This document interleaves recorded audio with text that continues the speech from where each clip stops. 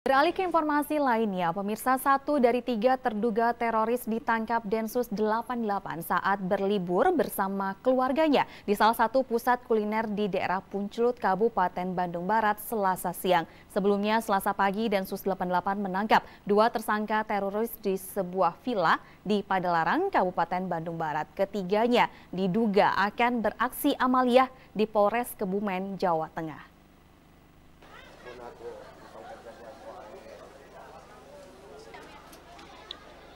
Inilah tayangan video dari kamera CCTV di salah satu tempat kuliner di Puncelut, Kabupaten Bandung Barat saat tim Densus 88 menangkap F, satu dari tiga terduga teroris, selasa siang. F merupakan satu dari tiga terduga teroris yang akan beraksi amaliyah di Polres Kebumen. Sebelumnya, dua terduga teroris lainnya, MN dan R, sudah ditangkap Densus 88. Dalam tayangan CCTV tersebut, terduga teroris F hendak sholat di sebuah musola rumah makan. Namun saat hendak mengambil air wudhu, sejumlah petugas yang diduga anggota Densus 88 langsung menangkap F.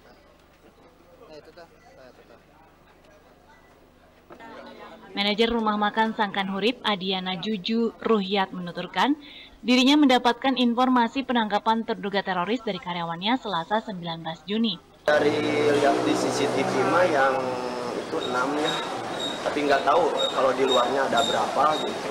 Tapi di CCTV mah ada satu di atas dan enam itu pada saat tangkap itu kondisi warung lagi ramai lagi full. Kita lagi full. Jadi kita juga nggak nggak sampai sempat memperhatikan atau uh, lihat gitu. Soalnya keadaan warung masih full terus kejadiannya begitu cepat sekali sekitar 3 menit 5 menitan.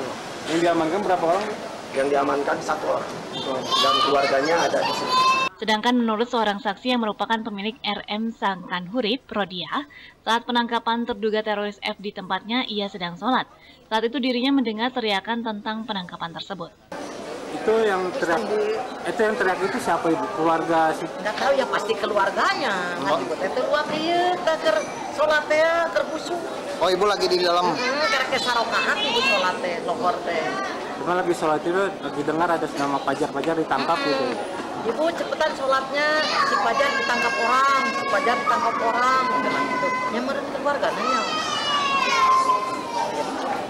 Namun ibu untuk ke sholat mah pasti meninggal segalanya ya. Yang sholat parokaat. Sebelumnya, Densus 88 menangkap dua terduga teroris MN dan R di sebuah villa di Padalarang, Kabupaten Bandung Barat selasa pagi. Saat ini ketiganya telah diamankan di Makosat Brimob dan Jabar. Namun hingga saat ini belum ada keterangan resmi dari kepolisian daerah Jawa Barat atas penangkapan tiga terduga teroris di wilayah hukum Polres Cimahi. Algi Muhammad Gifari, Bandung TV.